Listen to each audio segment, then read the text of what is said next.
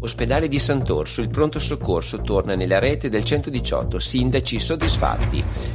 Dalle 8 di lunedì 11 maggio le ambulanze del 118 torneranno a fare riferimento all'ospedale di Sant'Orso per le emergenze di chirurgia generale e traumatologia.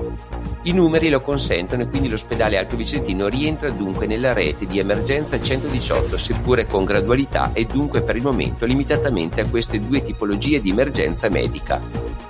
Ma questa sera sono infatti solo 52 ricoverati nei reparti Covid due dei quali in terapia intensiva e quattro in semi-intensiva e la situazione è vistosamente migliorata anche negli ospedali vicentini, anche se va detto che l'ULS 8 Berica non ha mai voluto o avuto bisogno di mandare pazienti a Sant'Orso.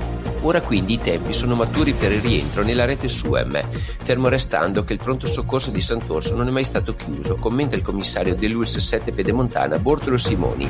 Si tratta di un segnale importante nell'ambito del percorso di graduale ritorno alla normalità. All'ospedale dell'Alto Vicentino la chirurgia generale e l'ortopedia avevano ripreso l'attività ordinaria già nei giorni scorsi, seppure con gradualità. Il reinserimento nella rete di emergenza 118 per la gestione anche delle urgenze in questa specialità rappresenta dunque un ulteriore passo verso il ritorno alla normalità. La notizia incontra la soddisfazione dei sindaci del territorio.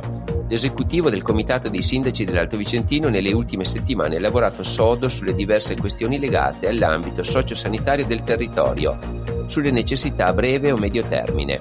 Lo scorso 28 aprile si era tenuta una riunione della, alla presenza anche del commissario Simoni, nel corso della quale i sindaci dell'esecutivo Balzi, Casarotto, Orsi, Lain, Sperotto, Maculan e Masero avevano preso atto dell'avvio del processo di riattivazione delle attività ordinarie del nosocomio.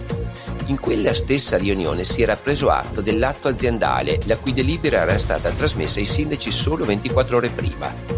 È un importante passo nella giusta direzione, commenta il presidente Franco Balzi, a cui si aggiunge la conferma programmata a giugno di concorsi per alcune fondamentali apicalità del nostro ospedale.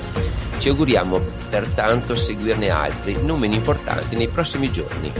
I sindaci del territorio, conclude Franco Balzi, continuano a lavorare con tenacia su questo obiettivo cercando di portare il proprio contributo in modo trasparente, mettendo in evidenza le oggettive criticità ma cercando anche di individuare in modo costruttivo le soluzioni che possono contribuire a Oikolle.